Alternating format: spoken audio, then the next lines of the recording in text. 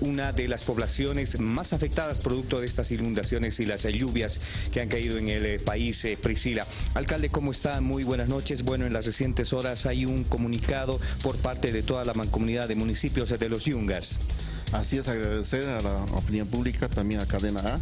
Eh, bueno, hacer conocer a la opinión pública que tenemos la declaración de estado de emergencia en todos los yungas de La Paz, en los ocho municipios que comprenden Irupana, Churumani, Yanacachi, Coripata, Coroico, como también la Asunta, eh, Licoma. Eh, prácticamente todos también nos solidarizamos con los hermanos de Coroico, como también los hermanos de Caraname que están pasando momentos muy críticos en este momento. Y como alcalde del municipio de La Asunta, hacer conocer a todos nuestros hermanos quienes viven allá en los Yungas de La Paz, de que, y a todos los hermanos quienes están viendo este programa, de que eh, tenemos problemas muy serios. En este momento tenemos colapsado. Eh, bueno, prácticamente 250 metros se nos volado la plataforma en el sector de las Mercedes. Tenemos también el sector de Colopapa, que se nos volado también la plataforma de 200 metros. Y por lo tanto, eh, esta es una red departamental. Pedimos al señor gobernador que nos pueda facilitar, en todo caso, proporcionar maquinaria pesada para habilitar este, esta tragedia que nos ha ocurrido. Y prácticamente como gobierno municipal ya no contamos, pero en la capital del municipio ya de víveres nos ha escaseado, también de medicamentos, de igual forma habituales, se han perdido viviendas. Eh, bueno, lo que más preocupa también es el caso de combustible, ya no, ya no se pueden movilizar los motorizados y por ello mismo pedimos clamorosamente al señor gobernador pueda disponer de estas tornamesas que existían en el municipio, pues actualmente ya no están, dos, dos tornamesas que, son, que nos hacen mucha falta. De igual manera también habían tres eh, palas mecánicas de SETCAM, solamente ahora están una y por ello mismo estamos pidiendo clamorosamente al señor gobernador pueda disponer de maquinaria pesada y de esa manera también habilitar este tramo carretero y de esa manera también abastecernos de alimentos porque ya ha empezado a subir eh, lo que es la, eh, los, alimentos de, la canasta familiar. De igual manera también los combustibles, no se puede encontrar combustible, también ha empezado a subir los precios y por lo tanto los afectados son los hermanos del municipio de la Asunta. Ahora, alcalde, esa es la ayuda que necesitan lo más eh, pronto posible por parte de la gobernación, pero también hay pedidos hacia el eh, gobierno central. Así es, así estamos pidiendo también, vamos a pedir, vamos la reunión con la hermana ministra de, eh, de, Salud para que nos pueda apoyar con medicamentos, porque ustedes muy bien saben de que siempre ha proliferado lo que es el dengue y otras enfermedades endémicas de la región. Bueno, Priscila, esta es entonces la declaratoria de emergencia por parte de la mancomunidad de los municipios en los Yungas. Si usted tiene alguna consulta, el alcalde le escucha. Sí, por favor, un criterio de parte del alcalde y de la representación de los municipios de los Yungas en torno a lo que dijo el gobernador Félix Pazzi esta mañana y decía que eh, no era necesario una declaratoria de emergencia departamental. ¿Él coincide con ese criterio del gobernador Pazzi? Alcalde. Bueno, lo que eh, el Departamento de la Paz se quiere eh, desde ya, lo que es la declaración de estado de emergencia, porque nuestros caminos se encuentran en malas condiciones, eh, más que todo yo me refiero a los Yungas de la Paz. También ocurre eso todo el norte de la Paz, prácticamente en todo el departamento, y por lo tanto sería una aberración decir que no corresponde una declaración de estado de emergencia, y por eso mismo estamos aquí pidiendo clamorosamente de que nos puedan apoyar con esas maquinarias que van a retirar del municipio de la Asunta, y por ello mismo también de que es momento que nuestra estén en el terreno, en el lugar, viendo cómo se sufre, cómo se vive, cómo es la vivencia en el lugar. Desde el escritorio no vemos nada, ¿no? Yo creo que desde el escritorio solamente podemos tal vez ordenar, pero no vemos la realidad, la cruda realidad que se vive en cada uno de los municipios. Ahora, alcalde, el gobernador dijo que él no es ni tractorista, eh, ni tampoco es maquinista y que por eso no era necesario que vaya al deslizamiento ni a los lugares afectados. Es muy importante que una autoridad elegida por el pueblo esté en el lugar juntamente con en el pueblo también, con el pueblo, apoyando de cerca, viendo esa vivencia, esa realidad. No estoy de acuerdo con lo que dice el señor gobernador de que no hay que estar en el lugar. Yo creo que tampoco hay que ser maquinista ni tractorista para estar en el lugar, sino tenemos que ir a ver esa realidad, esa cruda realidad que viven los hermanos bolivianos en los diferentes lugares o diferentes regiones del país. La buena noticia, alcalde, es que la Asamblea Departamental, por unanimidad, opositores oficialistas, sin importar el color político, han determinado declarar eh, en emergencia al Departamento de La Paz. Eso es una buena noticia para los municipios. Así estoy agradecido a los hermanos asambleístas del Departamento de La Paz por declarar estado de emergencia a todo el Departamento de La Paz. Es así de que vamos a tener que acudir al gobierno central para que también nos puedan apoyar con vituallas, como también a Defensa Civil. Creo que tenemos entidades que nos apoyan a los diferentes municipios cuando tenemos problemas de esta índole. Perfecto, alcalde, le agradezco mucho por haber estado con nosotros. Ramiro, muchísimas gracias por este contacto. Priscila, hasta más adelante. Gracias. Bueno, amigos, eso es lo que está pasando con este tema, pero vamos a seguir ampliando en torno al deslizamiento, la necesidad de la gente. Vamos a estar en Caranavi para conocer también qué es lo que está pasando en la zona que ya tiene algunos problemas de abastecimiento. Nos vamos hasta Santa Cruz, por favor, con nuestra compañera Magdalena Guzmán. Más información a esta hora de la noche. Magdalena, hablamos de política con la mirada puesta en octubre. Buenas noches. Así es, Priscila, ¿cómo está? Muy buenas noches. Me encuentro en uno de los pasillos de la maternidad Percibolan. Realmente es complicada la situación la cual atraviesan los pacientes en este nosocomio. Me encuentro yo con el representante del control social, el señor Andrés Panoso, quien nos va a dar mayores detalles porque se viene un paro para este jueves, lo cual sin duda afecta a la población. Muy buenas noches. Buenas noches. Así es, lamentablemente la, situación no ha mejorado, no, no podemos hacer nada nuestra infraestructura ya ha colapsado, los espacios son insuficientes, está todo sobresaturado, hay un hacinamiento en el espacio de, sala de parto postquirúrgico, está totalmente lleno. El director ha estado haciendo las denuncias permanentemente al gobierno nacional, al gobierno departamental, al gobierno municipal y bueno, los trabajadores estamos preocupados porque ya es insostenible. Esto, no hay cómo derivar pacientes a otros hospitales y clínicas privadas, porque lamentablemente el convenio que se tenía con ellos no, no, no ha sido eh, actualizado, reactivado por el municipio, que a quien corresponde hacer eso. Bueno, entonces la situación es insostenible. Mañana tenemos la asamblea de médicos, el sindicato de CIRMES, de ramas médicas, el sindicato de los trabajadores, todas las autoridades del hospital, una asamblea 8 y 30 y ahí definiremos las medidas a seguir, pero es inminente el paro que se viene el día jueves de 24 horas y luego escalonadamente 48, 72 hasta que seamos escuchados porque lamentablemente Santa Cruz no merece tener esta situación de crisis en la salud de infraestructura, de equipamiento, de recursos humanos, en fin, todo lo que nos falta haremos conocer a las autoridades y no nos queda más eh, que tomar medidas de presión para que las autoridades nos escuchen. ¿no? ¿Quién debería dar solución a estas demandas autoridades del gobierno nacional, departamental, municipal, ¿quiénes? Porque ya vienen meses eh, ustedes peregrinando para que le den eh, soluciones a las demandas, a las falencias que existen en la maternidad y hasta el momento nada. Así es, la primera responsabilidad de la salud es del gobierno central, nacional, del Estado nacional en este caso, la responsabilidad de la salud recae en él.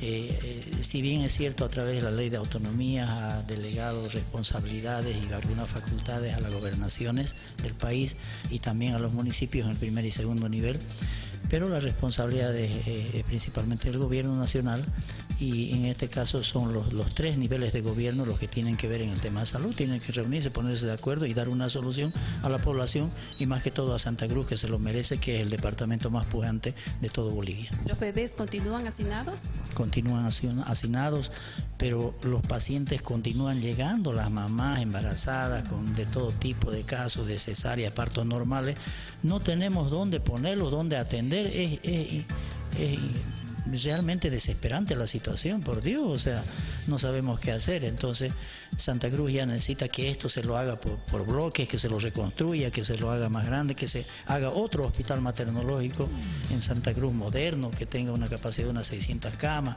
Eh, el gobierno departamental ha anunciado la construcción de un hospital de tercer nivel, eso hay que aplaudir, eso es bueno, que se estén preocupando, pero eso no es suficiente, ¿no es cierto? Entonces, Santa Cruz merece tener otra situación, no la que sufre actualmente. Muy bien, estaremos pendientes de lo que pueda suceder entonces en la maternidad Percibol. Han puesto de que estas falencias que se han registrado hace meses atrás, ya desde el año pasado, a raíz del nacimiento de trillizos, donde se puede observar a bebés hacinados y bueno, a madres que no tienen condiciones para poder estar en este nosocomio. Todas estas falencias es lo que piden tanto los médicos una solución de manera inmediata.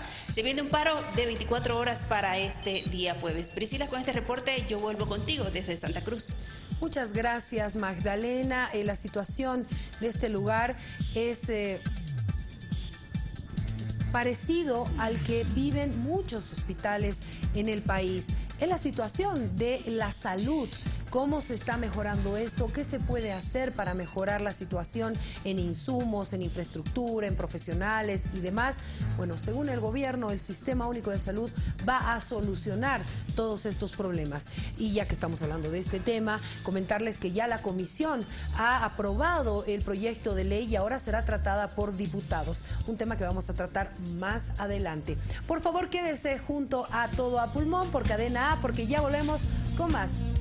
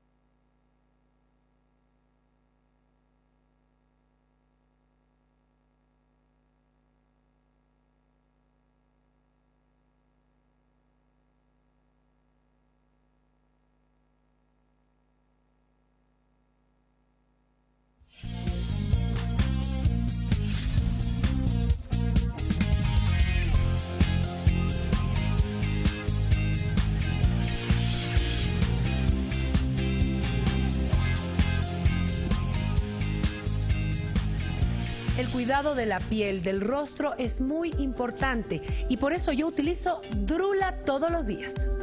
Y si hablamos de salud y belleza, hablamos de Drula, la crema alemana unisex que elimina arrugas, pecas, barros, espinillas e imperfecciones. Aclara la piel y la mantiene protegida de los factores externos que pueden dañarla, como el sol, el medio ambiente y la contaminación. Drula tiene varias presentaciones de acuerdo a la necesidad de tu piel.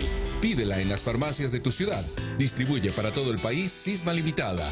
El teléfono es el 52 51 283 52 51 283. Oruro, Bolivia. Drula. A Drula vamos a hablar de salud. Eh, la comisión que está en diputados ya ha tratado el proyecto de ley del Sistema Único de Salud. Ahora pasará a la Cámara para el detalle y en grande. Nosotros estimamos de que el día jueves lo vamos a tratar en el Pleno de la Cámara de Diputados. ¿Qué es lo que prevé esta ley? De acuerdo a los últimos datos que tenemos, solo el 39% de la población boliviana estaría asegurada una entidad gestora de seguridad social. este sistema de, universal de salud va a cubrir a ese 61%. Informó que todos los recursos saldrán del TGN y no se toca los aportes de los trabajadores. Asimismo explicó que se dará amplia cobertura a todos los bolivianos. Incluye atención médica, atención en medicamentos, e inclusive intervención eh, quirúrgica de manera progresiva. Este jueves el proyecto de ley pasa a la Cámara de Diputados para su aprobación.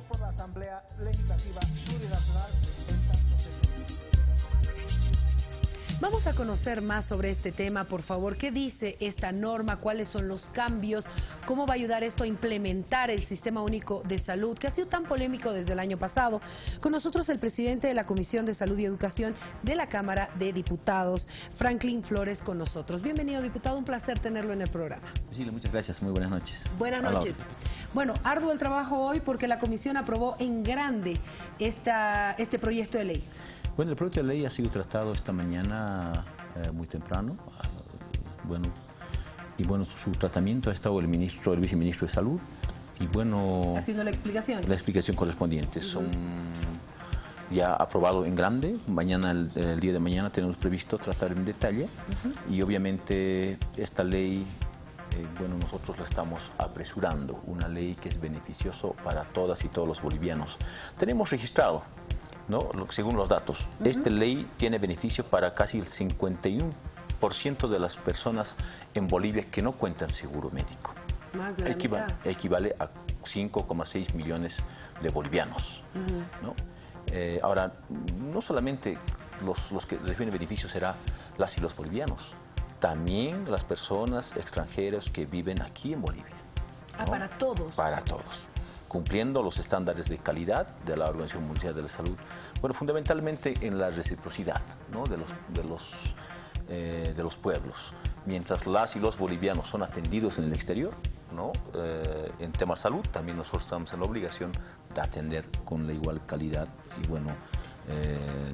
¿Eso nos obliga a firmar convenios con los países? No necesariamente, no necesariamente ya a nivel hay eh, convenios con los diferentes eh, organismos a nivel mundial ante las Naciones Unidas o ante la OMS, etcétera, etcétera. Entonces, eh, solamente se aplique eso. No necesitamos, no requerimos firmar un convenio entre un país y otro país. Eso está descartado.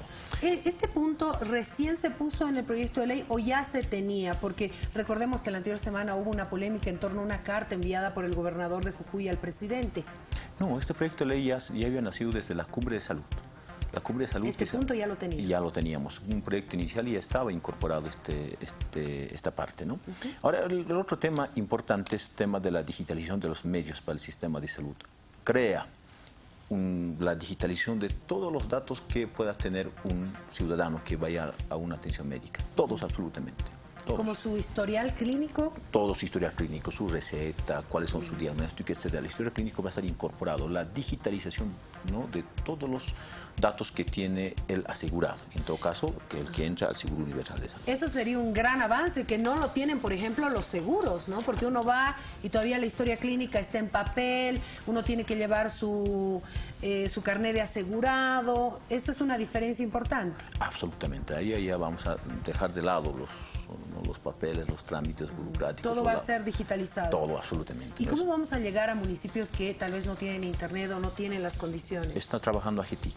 AGETIC va a acompañar, eh, va a ser el acompañamiento del registro y la implementación del Seguro Universal de Salud. creo que es uno de los aspectos importantes. Por ejemplo, me atienden acá en La Paz y si viajo a San Borja, me van a atender en San Borja. Así es. No voy a necesitar, ay, mándenme mi historial clínico. No, directamente van a tener el sistema. Para nada. Ahora, en tema de los, eh, de los recursos, eh, bueno, el, subsector público comprará servicios, dice, del subsector privado. ¿Qué significa? Si existe una saturación en la atención en el sistema público, el eh, Ministerio de Salud o el Fondo del Seguro Universal podrá comprar servicios del sistema privado nosotros podemos ser atendidos en el sector privado. Eso dice, mientras simplemente el Seguro Universal de Salud. Ahora, por otro lado, también eh, el tema de recursos financieros. El gobierno nacional ya ha dispuesto casi alrededor de 200 millones de dólares para el inicio en el tema de insumos, equipamiento y infraestructura en los hospitales de tercer nivel. Ahora, ¿qué pasa en los hospitales de primer o segundo nivel? ¿No? Se transfieren recursos los municipios destinaban el 15,5% eh, de todo oh, su presupuesto de la participación tributaria. Ese 15,5% pues, equivale casi a 245 millones de dólares en todo el sistema boliviano. Si estaríamos hablando de manera conjunta, los 15,5% que existe ya en los hospitales de primer y segundo nivel, más el, presupuesto que eh, está generando el Tercero General de la Nación, estaríamos hablando más de 450 eh, millones de dólares que eh, servirá para todo lo necesario en el sistema único de salud. ¿Quién va a administrar esos recursos? Cada uno en su sector. El primer hospital de primero o segundo nivel estará administrado por los municipios. Pero de esos 200 mil. Los, municipios. Los, municipios. los, otros 200 mil. 200 millones de dólares con hospitales de tercer nivel. Ahora, esa inversión se hará previo acuerdo intergubernativo. Si las gobernaciones o gobernadores o las entidades territoriales autónomas están de acuerdo para mejorar su servicio de salud y implementar el sistema universal, ¿no? podrán firmar un acuerdo entre el gobierno central, el Ministerio de Salud y la entidad territorial autónoma para poder equipar eh, en tema insumos, medicamentos, bienes, servicios, infraestructura, etcétera. Entonces, esos 200 millones de dólares está previsto para eso. Si no quieren porque usted dice, si quieren, firman, y si no quieren... yo creo que estamos, no, creo que ninguna autoridad departamental quiera que su servicio sea pésimo o no quiera inversiones en su en sus hospitales. En esta Villa del Señor ah, hay de todo. Habría que impulsar que nuestras autoridades no tengan den una, un, servicio de calidad entre la ciudadanía. Bueno, entonces tenemos este convenio para poder implementar en el tercer nivel. Estos 200 eh, millones que usted me dice para el primer y segundo nivel, entonces va a continuar en manos de los municipios, como hasta ahora. El primero y segundo nivel sí. ¿No? ¿No se va a invertir más en estos? El gobierno nacional ha previsto todos los recursos necesarios como para que la atención sea de calidad, la atención sea adecuada, todos los recursos necesarios de acuerdo a la capacidad económica que tiene. Pero me está diciendo que solamente lo que va a invertir el gobierno va a ser en el estamos, estamos hablando de infraestructura, equipamiento. Ya el gobierno nacional ya ha dispuesto inclusive alrededor de 570 millones de dólares para invertir justamente en los hospitales primero, segundo, tercero. También la ley establece que el gobierno nacional excepcionalmente, dice, previa evaluación técnica, podrá invertir en hospitales de primero, segundo y tercer nivel, eso dice la propia ley. Ahora, esta, esta aplicación va a ser progresivo, esta la inversión. Esta, hablamos del año 2019, 200 mil dólares. Hablamos 2020, 239 mil dólares. Llegamos al, al año 2023, 307 millones de dólares. Entonces es progresivo y queremos llegar una, hasta una, una una atención completa, adecuada hasta, el, 2020-2025. ¿La ley eh, establece el monto también o no lo establece? No, la ley establece que el gobierno nacional invertirá de acuerdo a la capacidad económica todos los recursos necesarios suficientes en los hospitales de primero, segundo y tercer nivel. Eso dice la ley. Ahora, eh, bueno, por ejemplo, algunos... ¿No se destina algún porcentaje en la ley, qué sé yo, del Tesoro General de la Nación, que sea el 5, el 10, el 15, el 20%? No, eso de manera general. Eso de manera general, creo yo, es importante bueno, también asimilar que el gobierno nacional ha ido invirtiendo estos últimos tiempos bastante en tema de construcción de hospitales. Este nuevo programa paquete de 49 hospitales, 20 hospitales ya están garantizados con los 570 millones de dólares. Falta el resto, que obviamente el gobierno nacional seguirá invirtiendo. Nosotros, nuestro compromiso es pues que las, los ciudadanos recibamos una atención de calidad como corresponde y como se merece. Muy bien. ¿Qué más tenemos? Bueno, eh, nosotros por ejemplo, ¿qué tan importante eh, puede ser este proyecto de ley en tema de garantizar a los médicos profesionales? La ley establece que aquellos médicos que tienen especialidad puede también trabajar en el sistema universal. ¿no? Significa, médico que tiene un tiempo completo trabajando, que son seis horas, puede trabajar otras medio tiempo. O sea, ¿no ve? Un, tiempo completo y medio.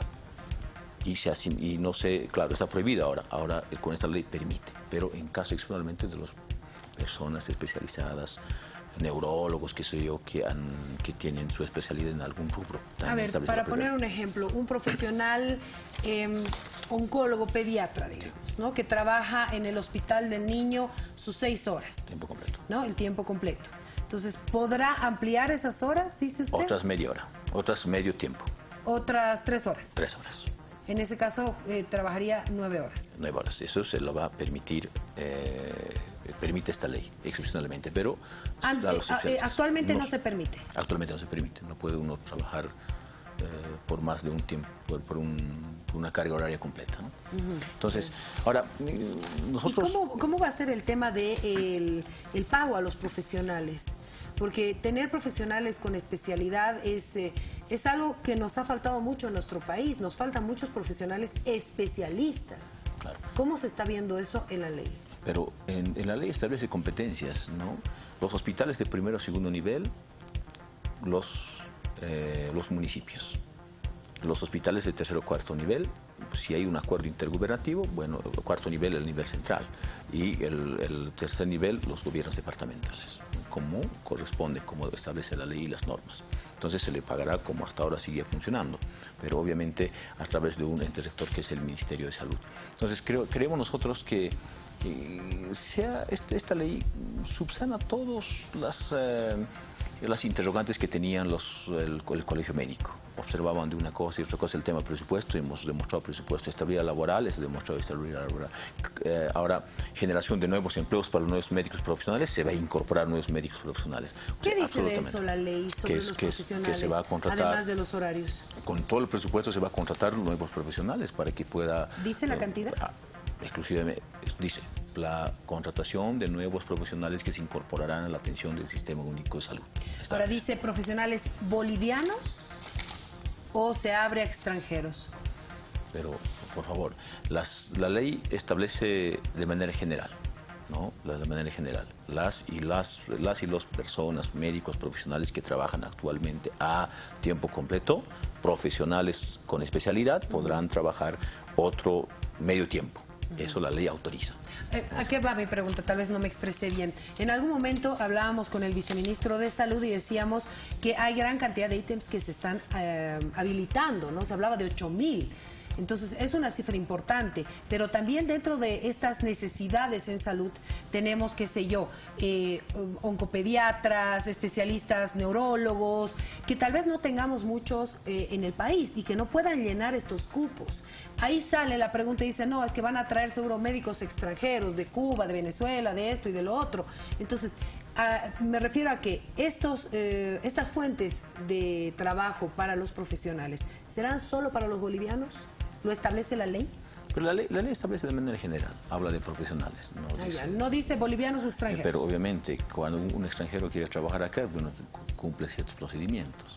¿No? Un boliviano, obviamente, un que tiene una persona nacida en Bolivia, que ha estudiado en Bolivia o que ha, que ha estudiado en el exterior, pero es boliviano, obviamente tiene mayores prioridades, mayores facilidades. Eso también establece la propia Constitución. Pero sin dejar de lado aquellas personas que probablemente hayan estudiado en otro país, que también son bolivianos, que también tienen el mismo derecho. ¿Y ¿Cómo garantiza la Constitución eso? Claro, o sea, el derecho al trabajo. Me, refiero, en, ¿en qué sentido había el debate, no?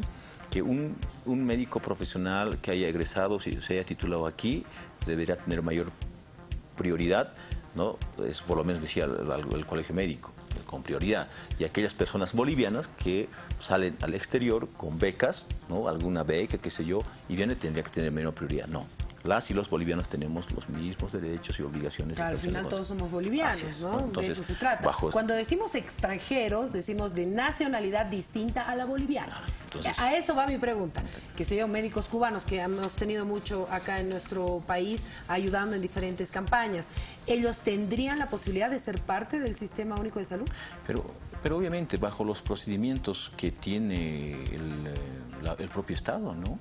O sea, sí. Claro, obviamente, si, el propio Estado tiene procedimientos que cumplen, si un boliviano tiene derecho a trabajar en el exterior, uno que viene de otro lado también puede tener derecho a trabajar aquí.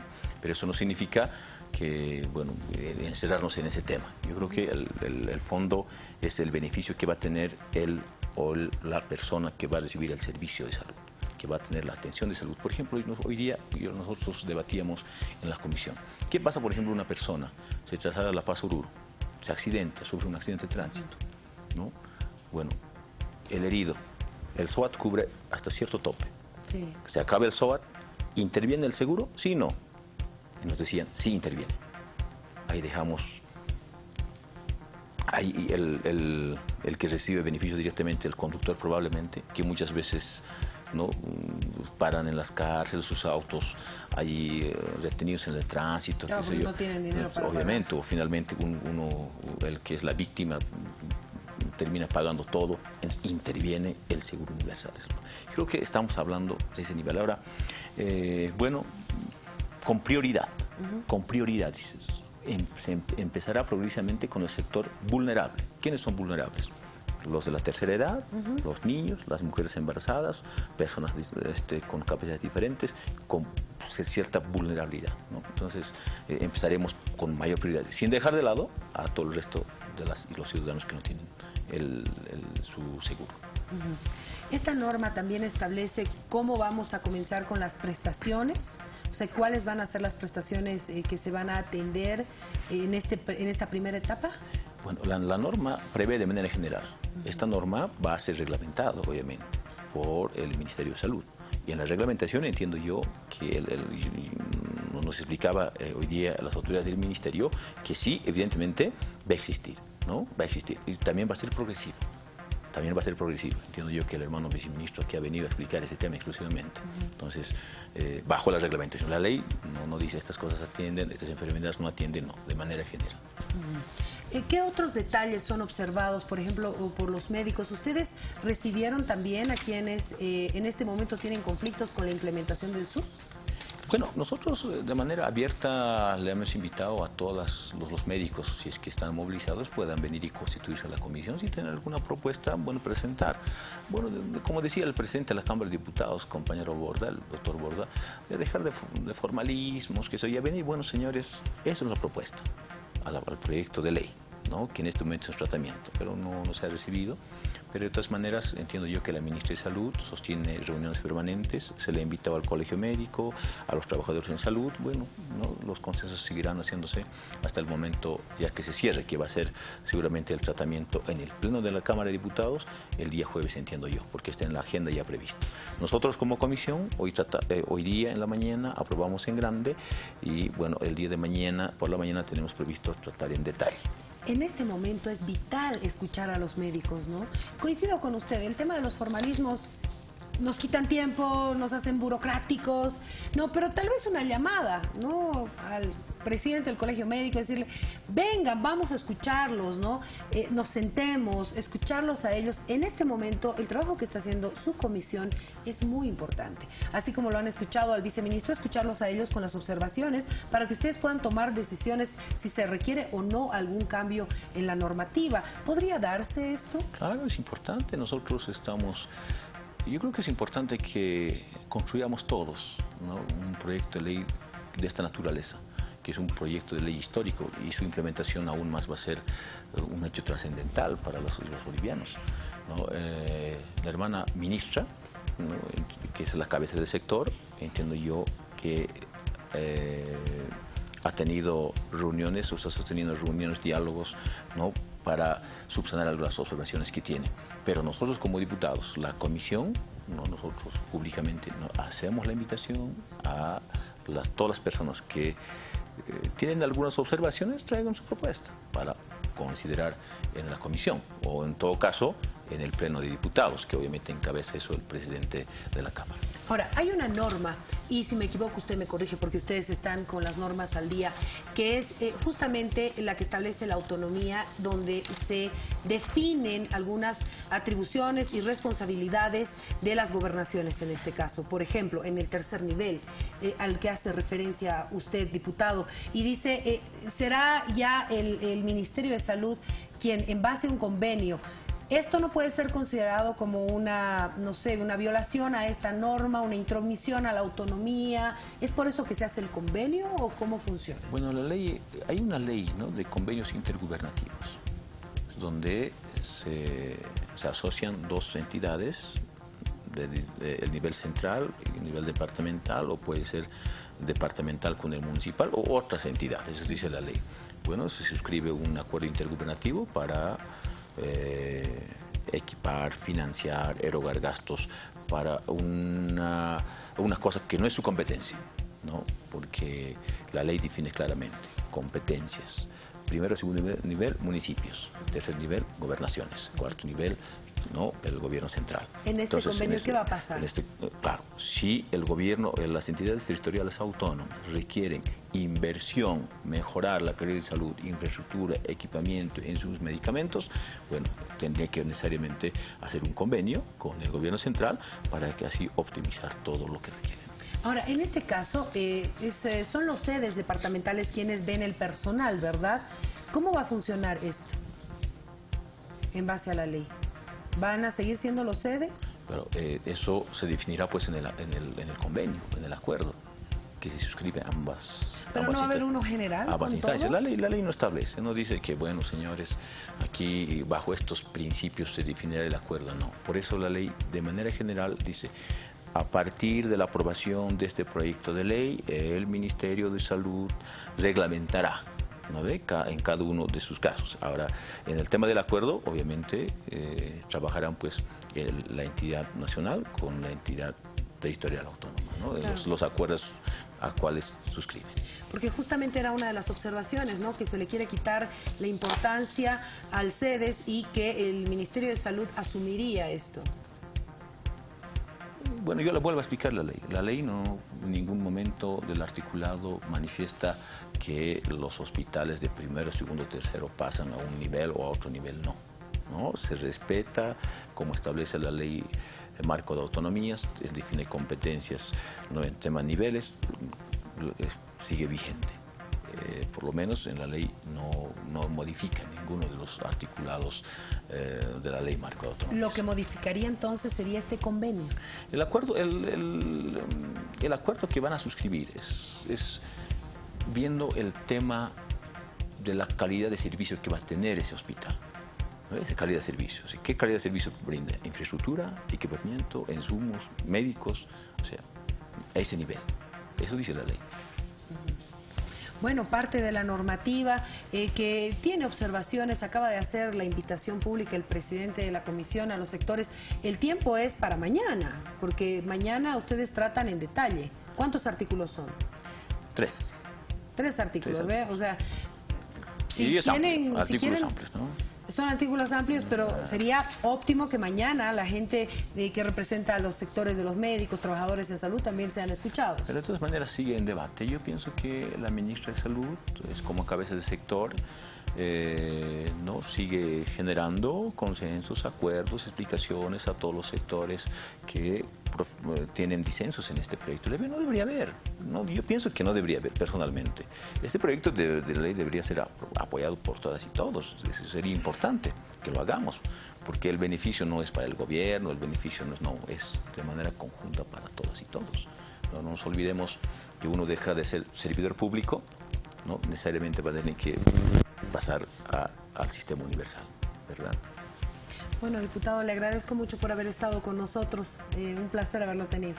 muchas gracias. A la orden. Gracias. Bueno, vamos a hacer el seguimiento también y trasladar la pregunta. Sí, y la gente de eh, que representa a los médicos, trabajadores de salud, se van a acercar a la comisión o a la Cámara de Diputados para poder ser escuchados, que es lo que corresponde también, porque ellos día a día están trabajando eh, con los enfermos y demás.